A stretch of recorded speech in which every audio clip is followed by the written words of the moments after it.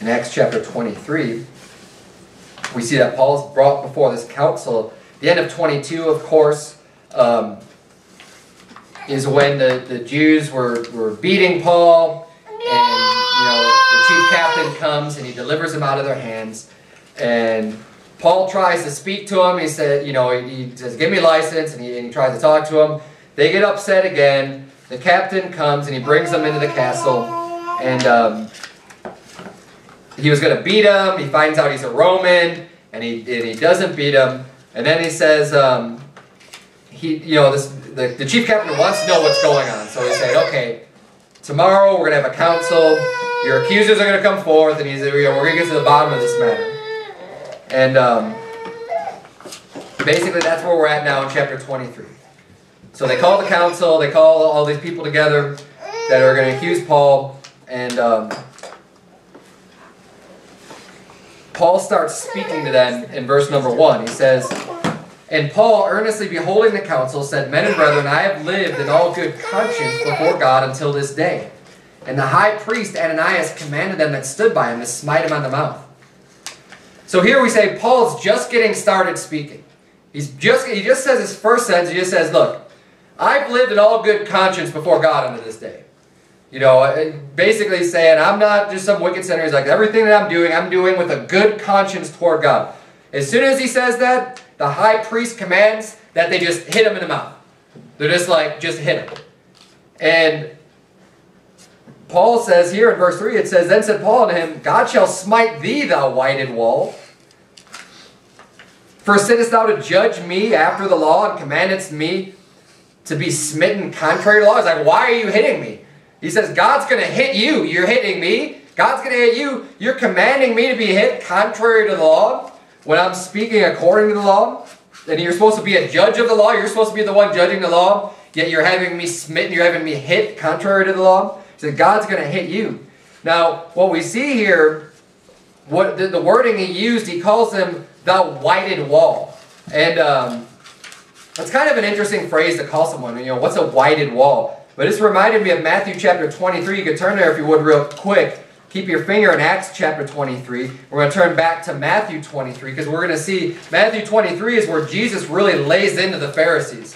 Where he calls them the, the, the scribes, Pharisees, hypocrites. And he goes on and on and really just, just tears into them, really lays into them, um, and mostly for their hypocrisy. But look at Matthew 23, verse 27. The Bible says, Woe unto you, scribes and Pharisees, hypocrites! For ye are like unto whited sepulchres, which indeed appear beautiful outward, but are within full of dead men's bones, and of all uncleanness. Even so ye also outwardly appear righteous unto men, but within ye are full of hypocrisy and iniquity. So we see here, Paul called them a whited wall. I believe that's probably really similar to what Jesus said. He called them whited sepulchres. Of course, a sepulcher is like a tomb, it's a grave, it's, a, it's like a coffin, right? It's something that's used to hold a dead body. And he said, you're, you're like unto a whited sepulchre. Yeah, on the outside, it's real ornate, it's real beautiful. You know, someone probably crafted it and made it look real nice. But inside, it's full of dead men's bones. So you can look at it and say, oh, yeah, that's real beautiful. And inside, it's just full of death. And, um, and I believe this is similar to what Paul is calling them. And Jesus said, look, and he's talking to the Pharisees, which is exactly the company that Paul is speaking to. He's talking to the Sadducees and the Pharisees. Jesus said, Look, outwardly you appear to be righteous unto men. You look like you're obeying the law. You look like, oh yeah, you're so, you know, you're so righteous. He says, but within you are full of hypocrisy and iniquity. Now, why are they full of hypocrisy? Because they say one thing and they do another. That's what hypocrisy is. And that's why Paul was calling them hypocrites he said, look, you're supposed to judge me after the law. You're supposed to use the law as the standard, and that's how you're going to judge me right now. Yet you're telling them to, to hit me, to smite me, which is contrary to law. You know, there's no reason that Paul needed to be hit then, so he's calling him a hypocrite. And, you know, we need to beware of hypocrisy. Hypocrisy abounds. And that's actually a, one of the main reasons why people don't even go to church these days. I know that's actually one of the reasons that kept me out of church for a little while. And again, there's no good excuse not to go to church. You ought to go to church. The Bible tells us not to forsake the assembling of ourselves together. we need to go to church, and so much the more as you see the day approaching. We need to be in church more and more. Just because some other people are hypocrites doesn't give you an excuse not to go to church. Look, if God commands you to be somewhere, if God commands you to go to church, then you go to church. Regardless, he doesn't say, well, unless they're hypocrites, then don't go to church. I got news for you. Everybody to some degree is a hypocrite. If you say that you believe the Bible, you believe every single word in this book is true, well, you're still a sinner. And there's something here that you're not doing perfectly. So to some level, you're a hypocrite. But when the Bible's talking about hypocrites and it's talking about people, you know, um, doing this, um, having this type of hypocrisy, it's not the, the hypocrisy that I just mentioned of, well, to some degree we all are. This is talking about people who are blatant hypocrites, where they're going to stand up. Like if I were to stand up here today and say, you shouldn't drink alcohol and tell you not to do that, and say it's wicked, it's a sin, you shouldn't do it. Now, would that be true? Yes, that is the absolute truth. That's what the Bible says. But if I'm then going out and doing that thing, then of course I'm a hypocrite, right? And um, that's exactly what the Pharisees would do. They would, they would lay all these burdens upon the people and say, you need to do this, you need to do that. And they weren't doing it at all. And like I said, this is a big reason why people don't go to church. Because they see, they'll hear you say, oh, well, you know, the pastor said not to do this, and this is wrong, this is wrong. And then I see him going around doing the same thing. And what does that do? It's a poor testimony. Why would anybody want to follow you or listen to what you have to say if you're saying one thing and you're doing something completely different? And, um, you know, I believe as a Christian, it's all of our responsibilities to do with the best of your ability to live according to, to, the Bible and to live according to what you claim to believe. I mean, that made me, if you're a hypocrite, that even makes can make people doubt their own salvation. And again, I know this from personal experience. I got saved when I was 20 years old. But since that time, I have done a lot of things that I knew I shouldn't have been doing. Some things maybe I wasn't fully aware of because I didn't know the Bible that well. But there's a lot of sin. Look, there's a lot of sins. I don't care if you've never even read some of the scriptures about drunkenness. You know it's wrong. You can see the fruits. You can see what happens when you go to the bar. You can see the results of getting drunk. And you just know God has given us a conscience. God has given us, especially if you're saved, you got the Holy Spirit. You know when certain things are wrong and when certain things are wicked and certain things you shouldn't be doing. Okay? Whether you've heard them or not. But there's a lot of things that I did here as well, and I still did them. And it got me to the point to where I would have to question myself and say, am I even really saved? I claim to myself, and I, and I believe this, I believe it in my heart.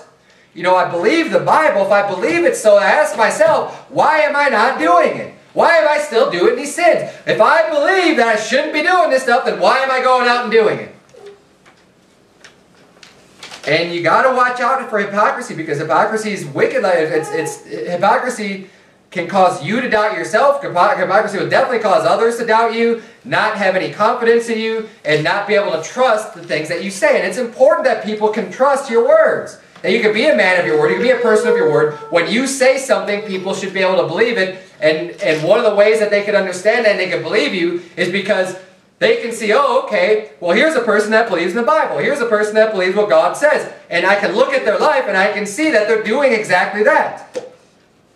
That is going to get you um, a lot farther with people. People have a lot more trust and a lot more respect for you when they can see that you're living the life that you're preaching. And this is exactly what Jesus was talking about in Matthew chapter 7. Turn back there if you would. Matthew chapter 7, of course, is a famous very famous portion of Scripture that so many people like to quote and misquote these days. They'll misquote Matthew 7 verse 1 that says, Judge not that you be not judged. They'll just say that and just, and just like that's it. That's the end of the story. There's not even a rest of the Bible. There's not a rest of that chapter. Just judge not. And, and usually it's not even the whole verse. They'll just tell you, oh, judge not. Oh, you're a Christian. Oh, judge not. Well, let's see what this, what this verse is even talking about, what this section of scripture is even talking about. We got to keep reading. See, it's important when you read the Bible, read it in context, and not just to pull out one small phrase or one small verse and just say, see, you can't judge, no judging, no judging at all. Look at verse number two. It says, for, which means because of. So the reason why he's saying, judge not that you be not judged, For with what judgment ye judge, ye shall be judged. And with what measure ye meet, it shall be measured to you again. So he's saying, look, if you're going to judge, just, just know this and beware that whatever judgment that you're saying and you're casting, hey, it's going to come back to you too. You're not above this. You're not some judge that's above the law. Whatever, you, whatever you're saying is wrong to do, whatever you're judging in, hey, if you do the same, it's going to come right back on you and you're going to get judged the same way. It says in verse 3, it says, And why beholdest thou the mote that is in thy brother's eye, but considerest not the beam that is in thine own eye? So now he's using an illustration, using a mote. It's not very common in today's, in today's language. But a mote is basically just some small little speck, some small little piece of dust or dirt or whatever. He's saying, look, you're looking at your brother's eye, you're looking at someone else's eye, and you see this small imperfection, this small problem that they have, right? You see this small speck of dust. He says, yet you don't consider that you have a beam in your own eye, some huge, you know, some huge piece of wood just sticking out of your eye. And obviously, this is like an exaggeration, right? This is a, this is trying to get a point across, this illustration. So he's saying you're so focused on the smallest thing about somebody else when you have huge sin in your life. You have a really big problem. He says, hey, look, you need to take care of your problem first. And that's what we see here. Look at verse number 4. It says, Or how wilt thou say to thy brother, Let me pull out the mote out of thine eye, and behold, a beam is in thine own eye. He's saying, look, how are you going to be able to pull that little speck of dust? How are you going to help that small imperfection that's going to require some kind of sight and vision to be able to see clearly? and to be able to have that type of level precision to deal with those small matters when you have a huge problem, something extremely big impacting your own vision. Verse number 5, this is where we get the full meaning in the context of verse 1, judge not that you be not judged. Verse 5, thou hypocrite. He's talking about hypocrisy. He says, first, Cast out the beam out of thine own eye, and then shalt thou see clearly to cast out the mote out of thy brother's eye. So he's saying, look, the first thing you need to do is to get that big beam out of your eyes. Says, look, look at yourself first. Take care of that big problem. Take care of that big sin in your life. Get that out of your life. And then does he say, and then don't worry about your brother, and then don't judge your brother? Is that what he says? And then don't try to help him, and then don't try to get the sin out of their life? No, that's not what he says at all. He says, then shalt thou see clearly so he said, look, if you see clearly, is it okay to, to, to help your brother and to cast that mote out of their eye? Absolutely. Then shalt thou see clearly to cast out the mote out of that brother's eye. You see, if I was just living an extremely wicked lifestyle, just full of sin, full of debauchery, just full of wickedness, would I really be the one that should be standing up here and telling other people, hey, don't live a life of sin. Hey, you need to live a righteous life. No, of course not. I would be an extreme hypocrite in that situation. But if I'm up here and I am living a good life, I am, and I am living, you know, not extremely sinful life, you know, I don't have all these various sins in my life, and then I try to tell other people say, hey, you know, this is a problem for you. You, you might have this problem in your life. You have this mote in your eye. And I want to help get it out. See, it's not good to be walking around with stuff in your eyes. You want to get it out. And sometimes you might need someone else to help you get it out. I know my daughter's come to me many times. She'll get her eyelashes stuck in, uh, folded up in her eyes, and she'll have problems like that, and it hurts, right? Does it hurt, Elizabeth, when that happens? Yeah, it hurts. It's not fun. She goes through some pain, and it's interesting too because it's such a great example. Now, they don't she doesn't want you to go near her eye and to touch it. She doesn't want, she does, she wants you to help and fix it, but she doesn't really want you to, to, to go in and do it. Because a lot of times when you go in and do it, there's still going to be even some more discomfort. Because you can manage, you can kind of hold your eye and, and get it to a, a more numb type of a pain where you know it, you don't like it, it's very uncomfortable. But as soon as you start going in there and messing with it, well, now it's going to start to hurt even more. And so the extraction, the fixing, the problem, sometimes will end up hurting a little bit, a little bit more, but then the end result is, okay, now I'm fixed, now it's better. And it's the same way with sin in our life. You want someone else, well, you, you know, if your heart's right with God, you should want somebody to point out an area of your life where you're not doing right by God. where the Bible is clearly saying, hey, look, this is a sin.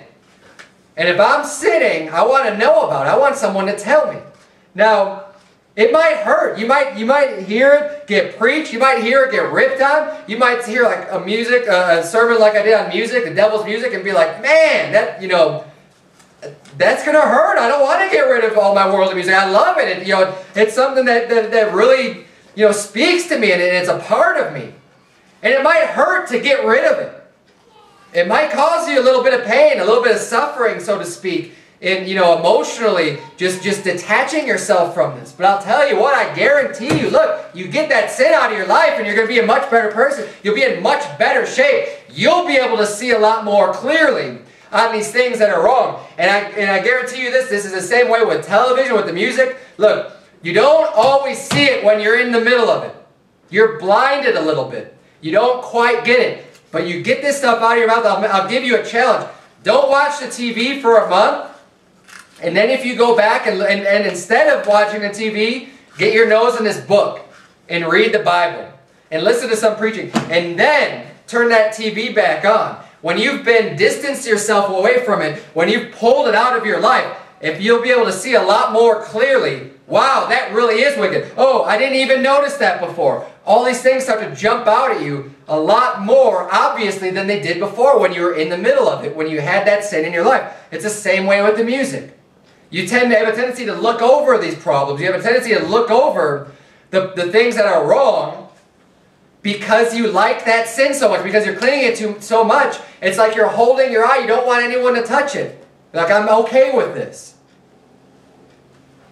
But if you let that person, if you let someone come in, you let God come in and purge that sin, the latter end is going to be so much better and you'll be able to see clearly. But I'm so sick of people these days perverting God's word. Say, oh no, you can't judge. Oh, you can't tell someone they're wrong. Oh, you, you can't say anything like that. Because you have sinned. You're a sinner, so you, you can't, you know, he is without sin, cast the first stone, so you can't say anything. That's not what that verse is saying at all. It's not what that passage is saying at all. At all. He's saying not to be a hypocrite. He's saying you shouldn't be doing the same exact thing that you're telling other people not to do. Let's continue reading. Turn back to Acts chapter 23.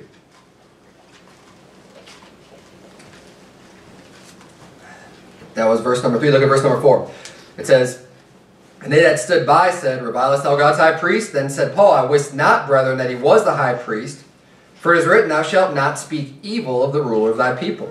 But when Paul perceived that the one part were Sadducees and the other Pharisees, he cried out in the council, Men and brethren, I am a Pharisee, the son of a Pharisee, of the hope and resurrection of the dead, I am called in question. Now, this is brilliant. This is a great strategic move by Paul. This isn't going well for him. We already, he already knows these people want to kill him. They tried to kill him twice. They tried beating him and, and killing him. He, he got, you know, the, the, the army came and, and rescued him. And then he wanted to speak again. Then they tried to kill him again. So now he's sitting in the council. He already has gotten punched in the face as soon as he starts to speak. So he's looking around and he sees what's going on. He says, okay, you got this whole council of people. Well, the one part's Pharisees, the other part's Sadducees. Now these are two different sects of Judaism. These are two different groups of people, two different denominations, if you will, of people who follow Judaism religion. And, um, and he notices this and he sees this and he's able to use this to his advantage. As soon as he sees that, that the, there's the Pharisees, the Sadducees, he says, okay, I'm going to use this to my advantage. And um, basically he's able to pit them against each other and take the focus off of himself.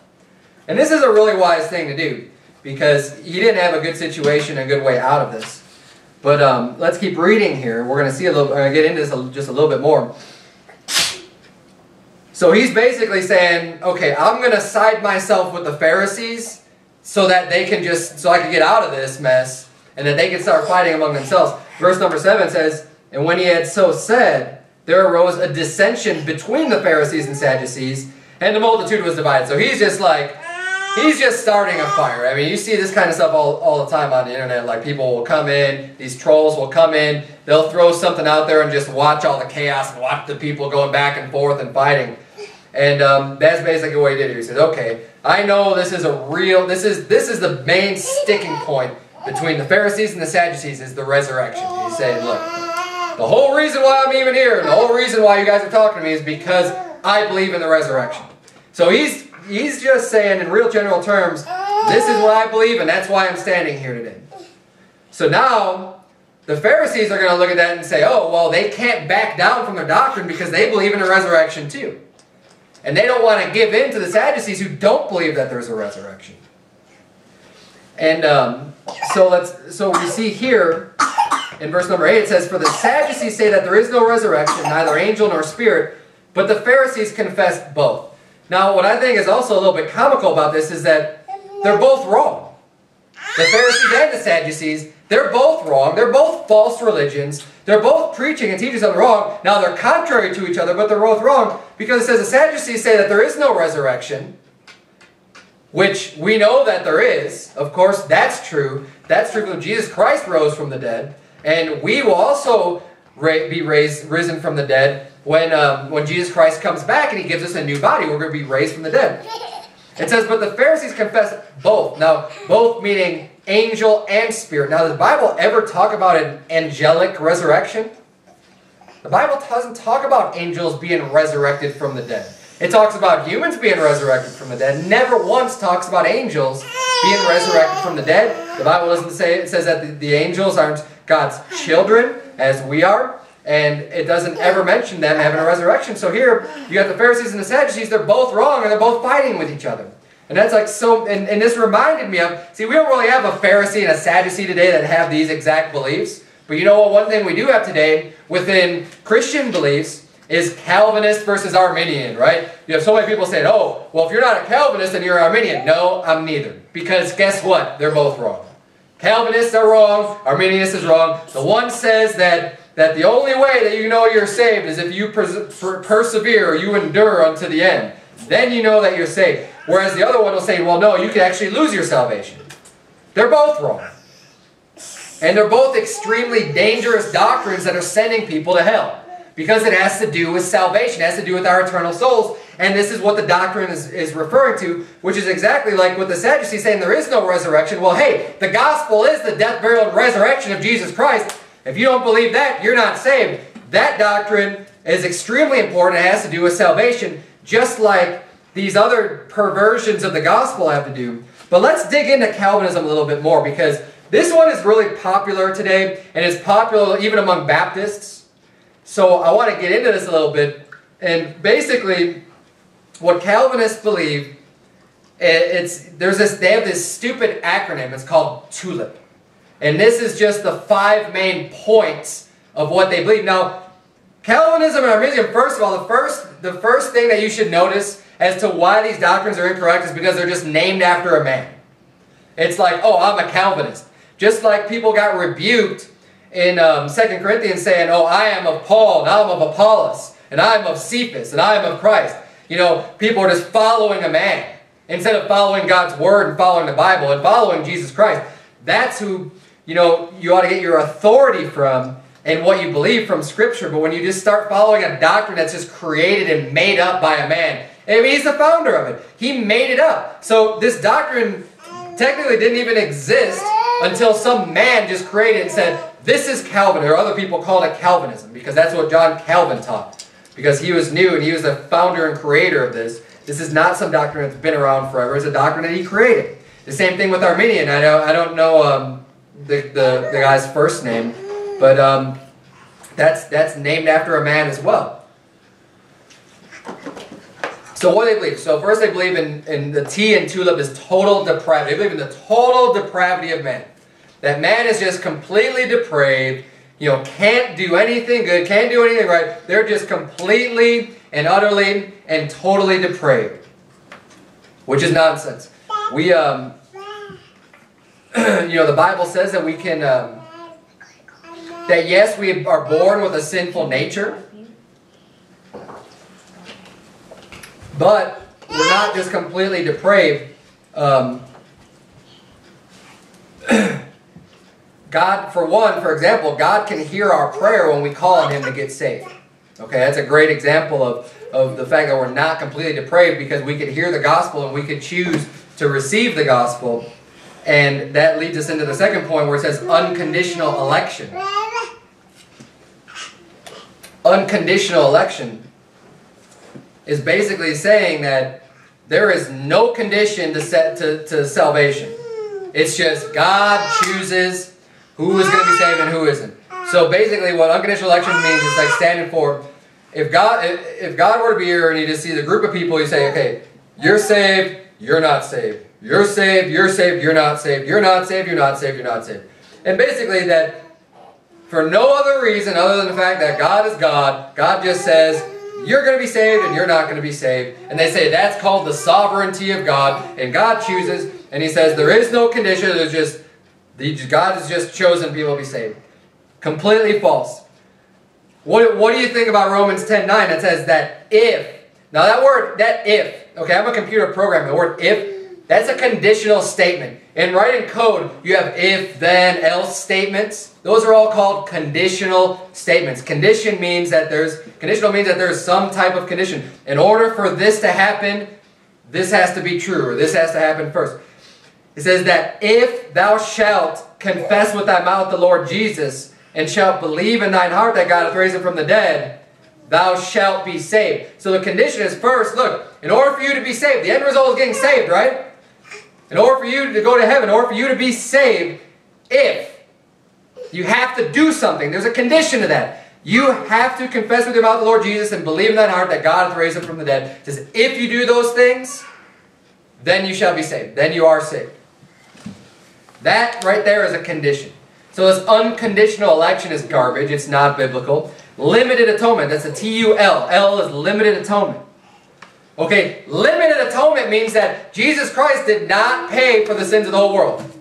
To say it's limited. It's only for the elect. It's only for who God chose to be saved. He said those are the only people who have their sins covered. Those are the only people that Jesus paid for their sins. Again, completely unscriptural, completely unbiblical. 2 Peter 3 9 says, The Lord is not slack concerning his promise, as some men count slackness, but is long suffering to usward, not willing that any should perish, but that all should come to repentance. But even more proof is that in 1 John 2 2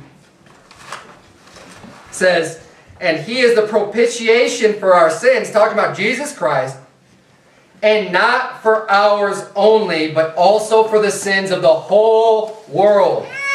The whole world. It's not limited just to us only, as John was saying. Hey, John, the Apostle John was saved. And he says, look, he didn't die. He wasn't a propitiation just for our sins, just for us who believe. He says, but also for the sins of the whole world. Jesus died for the sins of every single person in the whole world who's ever lived or ever will live. Of all time. Jesus Christ died and paid for every single person's sins. It's not limited to a few. God, and that's the whole reason why the Bible can say God's not willing that any should perish. God doesn't want anybody to die and go to hell. That's not his will. Which is why Jesus Christ came and paid for everybody's sins. But he left it up to us. He gave us a condition that we can choose to put our faith in him and get saved. And that's why any person, every single person's world has a chance to get saved by putting their faith in Jesus Christ. The I. The I is irresistible grace. They're saying, if you're going to get saved, it's irresistible. They're saying you cannot resist God's grace. They say, well, God calls you, God has chosen you, no matter what you do, you think you have free will. No matter what you try to do, you cannot resist the grace of God. There is nothing you can do about it. If God's going to do it, then you are just, He is just going to make you do it.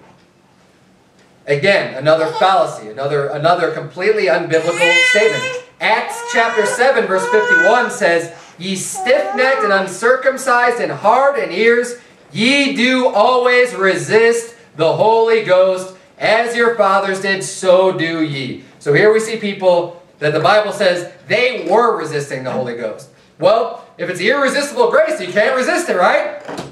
Well, I hate to burst your bubble, but the Bible says contrary. And then the P part of tulip is they say the perseverance of the saints. So they say, okay, those that are saved, they are going to endure unto the end. They are going to persevere. They're going to keep the faith. They're going to do everything right. They're going to, they're going to stay faithful all the way into the end of their life. So according unto this doctrine, I guess they would say that Saul wasn't saved. They would say that that probably even Solomon wasn't saved because he didn't persevere unto the end. He built altars unto false gods because his wives turned his heart away from the serving the Lord. But that's that's nonsense. What there is, instead of perseverance of the saints, what we believe is that there's a preservation of the saints. God preserves our soul. God preserves our spirit. God is the one who will that's why we have eternal security because He gives unto us eternal life. God preserves us. God seals with, with the Holy Spirit of promise. And He'll preserve us all throughout our lives, whether or not we choose to obey Him or not, whether or not we choose to follow God. And that Calvinistic doctrine is a doctrine straight out of hell. It's sending people to hell. It's doing all kinds of damage to the church. It's telling people that Basically, there's no reason to go out soul winning because there's this irresistible grace, and if God calls people, hey, it doesn't matter what anyone says or does, they're going to get saved no matter what. And if God's chosen it, there's nothing anyone can do to help that or to hurt that, and then what's going to happen is going to happen. So, hey, what's the point of going out and witnessing to people? What's the point of even giving the gospel? And it's also saying that, hey, you don't have to choose to believe on Christ because if you're going to get saved, you're going to get saved no matter what. It's nonsense. And then the Arminians claim that you can lose your salvation. They don't believe in eternal gift and eternal life. They think you just walk away from it. They're both wicked, dangerous doctrines. The Bible says, in the hope of eternal life, which God that cannot lie promised before the world began. Of course we have eternal life. It's going to last forever. Now these doctrines are extremely important and this is not just something I'm splitting hairs over. This isn't just some small detail like, oh, well, you believe this way, I believe this way. It's a little bit different, but it's not that big of a deal. This is talking about salvation. This is all about people's souls and whether or not they're going to heaven or hell. And this is what people are getting taught. Now, just because the Pharisees and Sadducees aren't around today, these Calvinists and Arminians are around today, and it's a dangerous doctrine. And, you know, there's nothing new under the sun. There's been this type of debate and these, and people going back and forth, all these false false believers, you know, people who don't believe in Christ, just just pitting themselves against each other. And you see that today. There's so many denominations out there that they have all their different um, false doctrines that they believe, and they fight against each other. But um, you know, we shouldn't get too caught up in that. But it's interesting here how Paul was able to use that to his advantage. Let's keep reading here in Acts 23. Look at verse number 9. It says, and there arose a great cry, and the scribes that were of the Pharisees' part arose and strove, saying, We find no evil in this man, but the Spirit or an angel has spoken to him. Let us not fight against God. And when there arose a great dissension, the chief captain, fearing lest Paul should have been pulled in pieces of them, commanded the soldiers to go down and to take him by force from among them and to bring him into the castles. Now again, we see that the captain's got to send his soldiers down because he's afraid that Paul is going to get ripped into pieces because the Pharisees are on one side saying, no, it's okay, you know, hey, if an angel's talking to him, if, you know, then then let's not fight against God. The Sadducees are saying, no, there is no resurrection. They're, you know, they're fighting against each other. So basically, this turns into chaos. The the captain sends his men and he gets them out of there. Verse number um, eleven says. And the night following, the Lord stood by him and said, Be of good cheer, Paul, for as thou hast testified of me in Jerusalem, so must thou bear witness also at Rome. So now here we see that God reveals his will a little bit for Paul, and he explains to him, he's saying, okay, look, I know you've been, you've been going through all kinds of stuff, and they want to kill you, and, and they've been beating him, and he says, um, he says, don't fear, you know, it's okay, because he, Paul even said multiple times when he was going down to Jerusalem, he said, I'm not only willing to be bound, but I'm also willing to die for the Lord Jesus. So I think he kind of had in his head, he's like, this might just be the end. And he was just going to stand strong and just, just keep the faith, and whatever comes may come. But, you know, God tells him here, he says, okay, look, you know, be cheerful. He says, the same way that you've testified of me in Jerusalem, he says, you know, you're going to testify of me in Rome. Basically, he's telling him, you're going to get out of this. Now, it's also interesting, too, because this is going to come into play later in chapter 25, just two chapters later, in verse 25, because this isn't over yet, this council. Even though, you know, he had to be taken away here, he still has to be, you know, they still have to do something with him. Because they're still accusing Paul, so the, the law has to, has to be dealt with, has to deal with the situation with Paul somehow. So it kind of gets, gets kicked on up in the court, so to speak, and gets escalated. And in chapter 25, we see here where he's being tried again. In verse 11 it says, For if I be an offender, have committed anything worthy of death, I refuse not to die, but if there be none of these things whereof they accuse me, no man may deliver me unto them, I appeal unto Caesar. So Paul invokes his right as a Roman to basically appeal his case and to go straight to the top, like to the Supreme Court essentially, and to be appeal unto Caesar. And of course, Caesar is in Rome, and um, I think that one of the reasons why Paul was even did that, he knew that was the will of God because God told, told him that, hey, you're going to bear witness of me in Rome. So Paul understands this. He knows this ahead of time. So he says, okay. When he finally, you know, he pleads his case and he sees it's not going anywhere and they're trying to just send him back to the Jews so that the Jews could kill him, he says, no, I appeal unto Caesar.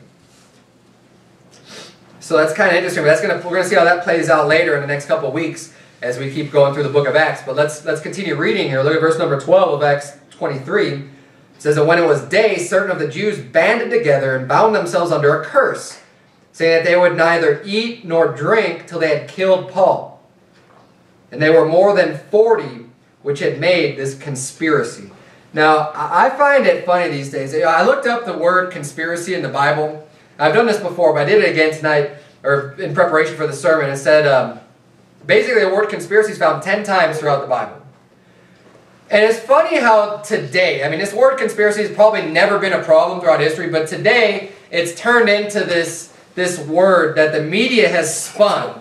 And basically, it's a word that's used to make people look crazy and just to discredit their belief, discredit the things that they're saying, just by saying, oh, you believe in a conspiracy. And they'll use word, they'll, they'll, they'll say it with intonations like that just to try to make you look or sound crazy as if, as if a conspiracy, just because a conspiracy exists, that somehow you're nuts and you're paranoid and that you, you know, whatever you think is ridiculous. You get labeled a conspiracy theorist. And again, this, you know, this term is usually used in a derogatory manner that's somehow supposed to discredit you, what you have to say. Now, I'll tell you right off, right off the bat, I believe in conspiracies.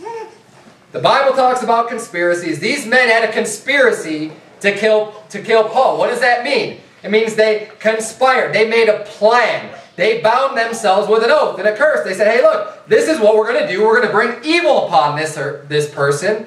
And that's what we plan on doing. And that's called a conspiracy. And if you think that there's no wicked people out in this world today that are planning to do evil, wicked things unto other people, then you are just completely naive or just out of your mind and you have just completely out of touch with reality. Because the Bible talks over and over again about how many wicked people there are in this world that hate God, that don't rest, that don't give their eyes sleep or slumber, like it says in Proverbs, until they have done mischief or until they have caused some harm to somebody. There are people like that out there today. They're conspiring. There are people, there's the adulteress, right? Who lies in wait. They set traps. They hunt for the precious life. There are wicked people out there that are conspiring and planning to do evil, bad things. And you say, oh, you're this conspiracy theorist. Yes, I am. And if you are persuaded and fooled into thinking that that's something derogatory, to think that just because there's wicked people out there planning on doing wicked things, if you think that discredits somebody, then you're the fool.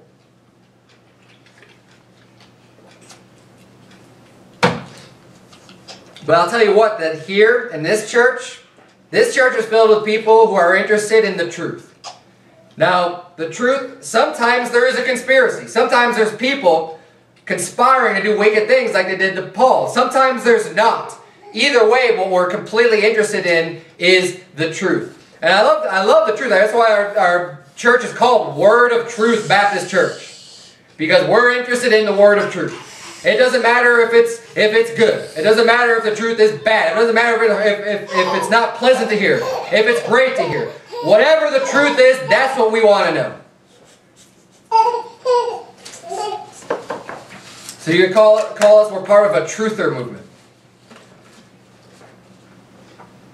Now, I've noticed that there's basically two main reasons why people do not want to hear the truth. One of those reasons is because there's just so many evil, wicked people that hate the truth. They don't want to have their sins exposed. They don't want to have the light shining on them. They want to hide in the darkness. And maybe they're the ones conspiring. Of course, the ones that are conspiring, they don't want the truth to be told or known what they're planning on doing. They want to keep it a secret. They want to keep it a conspiracy. They don't want anyone to know about it. John 3, verse 18 says, He that believeth on him is not condemned, talking about Jesus Christ, but he that believeth not is condemned already, because he hath not believed in the name of the only begotten Son of God.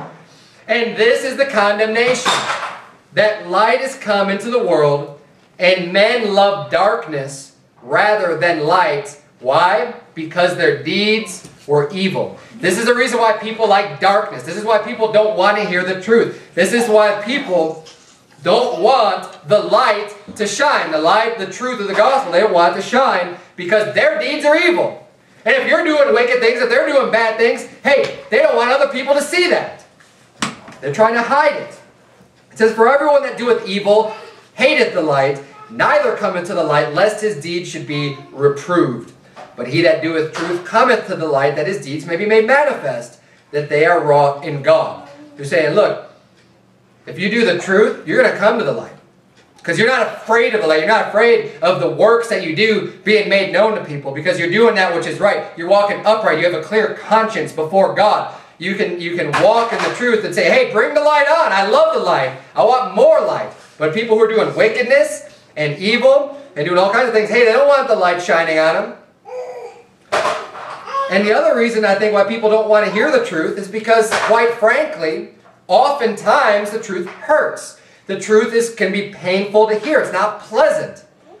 And that's what the Bible tells us and warns us in 2 Timothy chapter 4.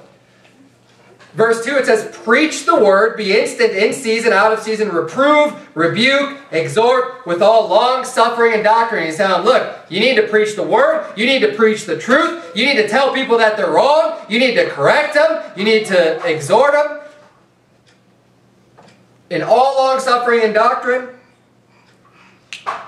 you need to preach the truth, but it says in verse 3, why? Why is it so important? It says, For the time will come when they will not endure sound doctrine, but after their own lusts shall they heap to themselves teachers, having itching ears, and they shall turn away their ears from the truth, and shall be turned unto fables. Fables are just stories, just made up, they're lies, they're not truth, they're not real, it's just, it's just a make-believe story. And that's what it's saying people are going to do. They can't endure the sound doctrine. They don't want to hear it. It cuts to their heart. It cuts into their sin. It shines a light on the wickedness. And after their own lust, because they like their sins, they don't want to hear about it. It says they heap to themselves teachers. They, they get themselves teachers. They say, look, well, we still want to be taught. We still, we still, we still love God, but we want someone that's going to just stand up there and tell us what we want to hear. We don't want to hear the truth. Just make something up. Tell us what we want to hear. Come on. Tell me that, that, I'm, that I'm living a great life. Tell me that I'm doing so good and God's happy with me and God loves me and tell me that there's nothing wrong and I'm a great person and I'm just living right and, and that's what I want to hear. I don't care if it's not true. I don't care if it's a fable. That's what I want. I want you to tickle my ear. And I love that, that itching ears. I think of our dogs. You know, dogs love having their ears scratched. And a dog comes up to you and you, you start scratching their head, you start scratching their ears, and they love it. And they'll put their head in your lap, and they just love getting that scratch. They love getting their ears scratched. And there's a lot of people that treat church the same way, that treat serving God the same way. They just want their ears to be tickled. They want it to be scratched. Like, oh yeah, that feels so good. Oh, come on, tell me some more. Yeah, oh yeah, I'm a great person. Tell me, tell me how good I am. Tell me how much my sin is really not sin. Just keep telling me lies. And that's what people are like today. And, and we were warned about it here. That's why we need hard preaching. That's why we need to hear the truth from God's Word. And that's why here, I'm not interested in tickling your ears. I'm not interested in scratching your ears. I'm interested in getting that mote out of your eye. I'm interested in getting that beam out of your eye. I'm interested in you growing closer to God. I'm interested in helping you to get the sins out of your life. And the way that the, one of the best ways to do that is first to shine the light on them and expose them and say, Thus saith the Lord. This is what God actually said. This is what God actually thinks about divorce. This is what God actually thinks about fornication. This is what God actually thinks about the music that you listen to. This is what God actually thinks about your sin. He hates it. He doesn't want you to do it anymore. And that's the type of preaching they need. That's the type of preaching that's going to help you. And that's what we stand for. We stand on the word of truth. We stand on God's word. And that's what we're going to preach here. And that's what we love. And that's what the way this church is always going to be as long as I have any say in the matter. Let's keep reading here in Acts chapter 23. Look at verse number 12. It says, And when it was day, certain of the Jews banded together and bound themselves with a curse, that um, saying that they would neither eat nor drink till they had killed Paul. And there were more than 40 which had made this conspiracy. Verse 14 says, And they came to the chief priests and elders and said, We have bound ourselves under a great curse, that we will eat nothing until we have slain Paul. So um, we see here that says they, they bound themselves under a great curse. Now, a curse, a lot of people don't understand what curse is. People think like if they say some four-letter word, they say, oh, I cursed. Which, that's not really necessarily a curse. A curse is when you, it's basically the exact opposite of a blessing, right? So most people probably have a good understanding what a blessing is.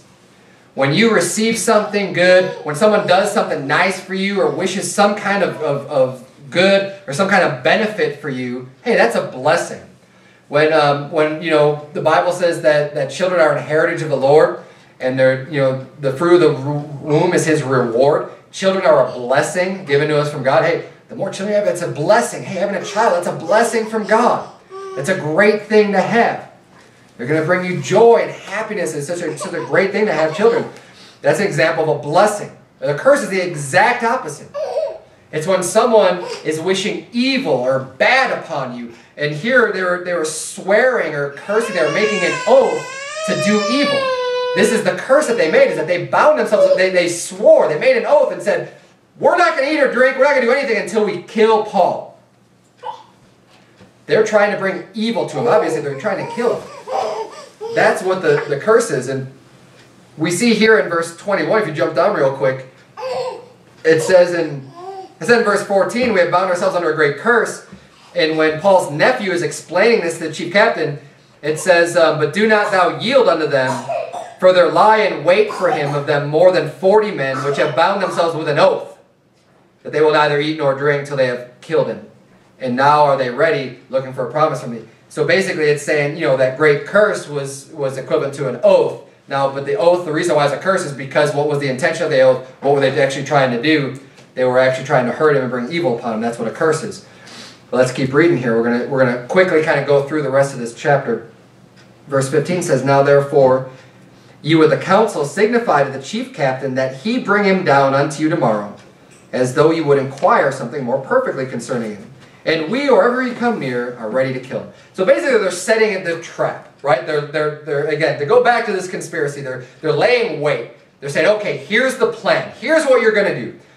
You're going to go to the chief captain. You're going to say, hey, we want to talk to Paul again. We, we want to understand what he's saying a little bit better, a little bit more perfect. We want to get a full understanding.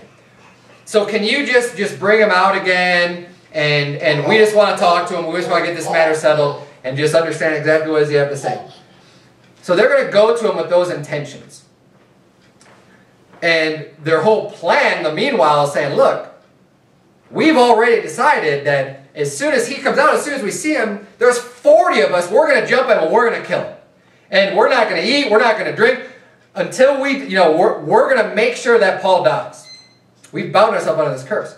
Now, what's interesting is that there's conspiracies like this going on all the time. I know it's a fact because there's a lot of wicked, evil people out there.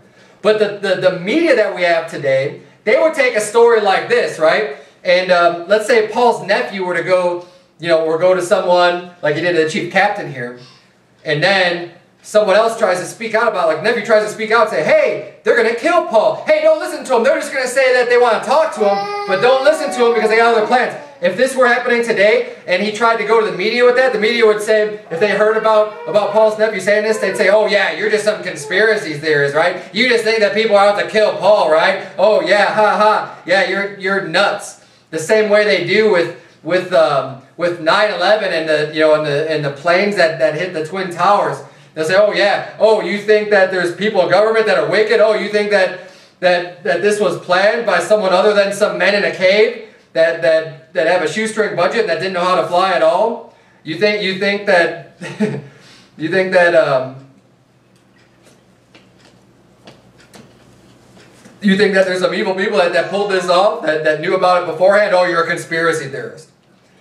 And this is the way that the media would react. And that's the way they always do when they're in on it, when they're and when they, they don't love the truth and they don't care about the truth, but they just care about spinning things.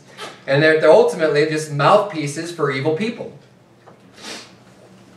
But we see here, let's, I might get back off of that, that conspiracy thing. And back to the story here. It says, because Paul's nephew basically finds out about this. He finds out that they're setting a trap, they're laying in wait, and he tells Paul about it. So then Paul, in verse 17, it says, he called one of the centurions unto him and said, Bring this young man and the chief captain, for he hath a certain thing to tell him. So he's, okay, I want you to tell the chief captain. He doesn't tell anyone else. He just brings it to the ears of the chief captain. So he took him and brought him to the chief captain and said, Paul the prisoner called me unto him and prayed me to bring this young man unto thee who hath something to say to thee. Then the chief captain took him by the hand and went with him aside privately and asked him, What is that thou hast to tell me? And he said, The Jews have agreed to desire thee, that thou wouldest bring down Paul tomorrow into the council, as though they would inquire somewhat of him more perfectly. But do not thou yield unto them. That word yield is, a, is an older word. It's not really used too much today. But you sometimes you see traffic signs that say yield. There's that upside down triangle. And yield just means um, basically to, to allow someone else's uh, to go. You know, like for in traffic, it's you know, your yield, you don't necessarily have to stop. But If there's another car coming, you have to yield to them. You have to allow them to go first. And what he's saying here, he's saying, don't yield to these people's demands when they're going to ask you, say, hey, we need Paul to come down here so we can talk to him again. He's saying, don't give in to them. Don't let them, don't let them speak to Paul. Don't bring Paul out before them. Don't yield to them. And it says, For there lie in wait for him of them more than forty men, which have bound themselves with an oath, that they will neither eat nor drink till they have killed him. And now are they ready, looking for a promise from me. So the chief captain then let the young man depart and charged him, See thou tell no man that thou hast showed these things unto me. And he called unto him two centurions, saying, Make ready two hundred soldiers to go to Caesarea, and horsemen threescore and ten, and spearmen two hundred at the third hour of the night. So now he's making this, this huge troop. I mean, a centurion is someone who's a captain basically over a hundred soldiers. That's what like the word century is a hundred, a hundred years. But um, a centurion is a, is a man who's, who's in charge of a hundred soldiers. So he calls two centurions, 200 soldiers, he says, get 70 horsemen and 200 spearmen. That's a lot of people to be put in company with Paul. Um, and, and it's interesting here because I don't think he likes Paul that much. He's obviously doing this for show. He's one man does not need. I mean, he told him that conspiracy was for 40 people. Okay, 470 people, 70 of them on horseback against 40 people who want to kill Paul probably a little bit of overkill. But we're going to see exactly why he's doing this. And it's, it's a little bit interesting. We're going to wrap it up here. It says, um, it says in verse 24, And provide them beasts that they may set Paul on, and bring him safe unto Felix the governor. And he wrote a letter after this manner. So now he's going to send this letter along with them to Felix and explain what's going on. It says, Claudius Lysias unto the most excellent governor Felix sendeth greeting. This man was taken of the Jews and should have been killed of them, then came I with an army and rescued him, having understood that he was a Roman. Now, is that what really happened? Or is he embellishing this a little bit? He's embellishing it quite a bit. Because he's just saying, oh, you know, this guy was going to be killed by the Jews, but I came in and I rescued him. I understood he was a Roman. I brought in my army. I rescued him. When really what happened is that he saw these people beating Paul to death. He came in and he did rescue him. He did take him away, but he was about to beat Paul. He was about to, he, he bound him, he chained him, and he was about to whip him. And then he found out that he was a Roman, and that's when his, that's when his attitude kind of changed. But um, he does all this, and he, and he, um, he writes this great letter, and he's sending this big troop to just kind of show how much he's really just putting forth this great effort to save that Roman citizen and basically to puff himself up kind of as this great hero. Right? And then it says um, in verse 28, And when I would have known the cause wherefore they accused him, I brought him forth into their council, whom I perceived to be accused of questions of their law, but to have nothing laid to his charge worthy of death or of bond. He's saying, look, I, they had some kind of dispute with him about their law. He said, but, but nothing that I can see even you know worthy of death, which is what they're trying to do, or even of bonds, even to put him even to put him in prison or put him in jail. He's like you know to keep him from his liberty. I didn't see anything like that. So now he's sending it to sending him to to um, to Felix, so that Felix can could figure out what's going on with this. It says in verse thirty. And when it was told me how that the Jews laid wait for the man, I sent straightway to thee and gave commandment to his accusers also to say before thee what they had against him. Farewell. Then the soldiers, as it was commanded them, took Paul and brought him by night to Antipatris. Now, this is kind of interesting too because look what it says in verse 32. It says, And on the morrow they left the horsemen to go with him and returned to the castle. Now, do we see here the soldiers, the centurions, they just bring him to Antipatris and then they leave. I think they realize, like, this is overkill. Okay, we don't need this huge army to go with this one man just to, to bring him there. Because the commandment that, that Lysias gave them was in verse 23, it said, And he called on them two centurions, saying, Make ready 200 soldiers to go to Caesarea. And horsemen three score ten, and spearmen 200 at the third hour of the night. So the, chief, the, the Lysias is telling them, You need to bring them to Caesarea.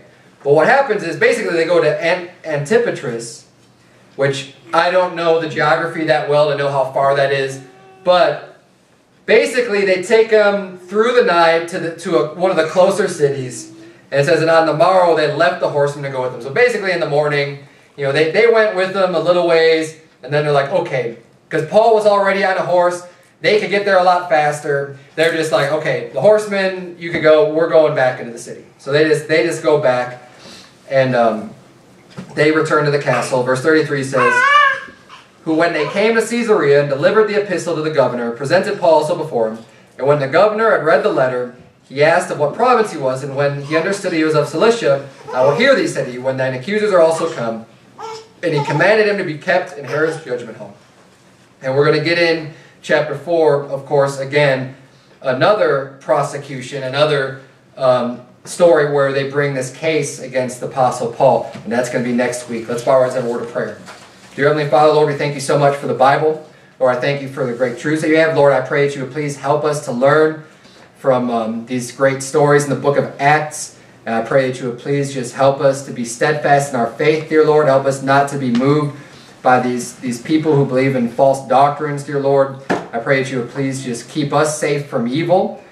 Uh, we know that there's conspiracies out there. We know that there's evil people that are always trying to to work against good and to work against you and your words and your laws, dear God. But I pray that regardless of how many of these people there are, I know and I'm confident that you are able to protect us, dear God, and our faith is in you. And we're not going to be wavered, dear Lord, but we're going to be faithful unto the end.